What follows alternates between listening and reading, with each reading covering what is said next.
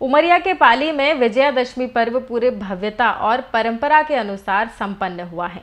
प्रतिवर्ष की भांति एस कालरी के द्वारा नगर में छोटे छोटे बच्चों को भगवान का रूप देकर चल समारोह में शामिल कराया गया।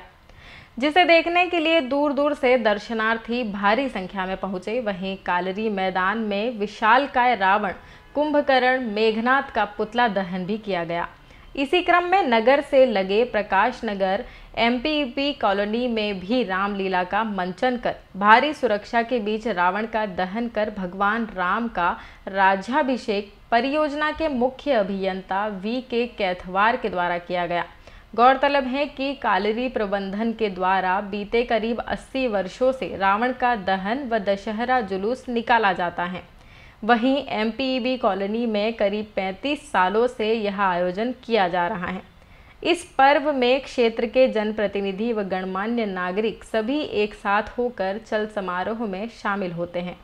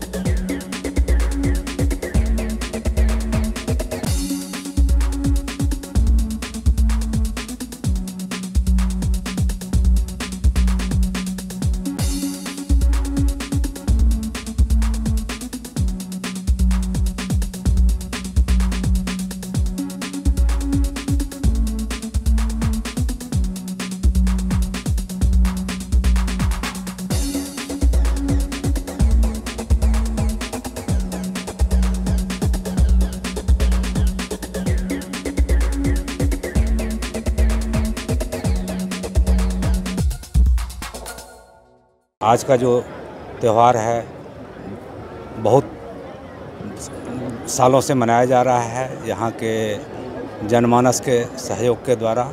और जो भी कार्यक्रम होता है, यहाँ पर बहुत ही शांतिपूर्ण और अच्छे ढंग से मनाया जाता है। इसके लिए यहाँ के सभी थाना प्रभारी एस डी साहब तो प्रशासन, पूरे प्रशासन का मैं आभारी हूँ, जो इस कार्यक्रम को बनाने में अपना कार्यक्रम को पूरा करने में अपना सफल योगदान देते हैं।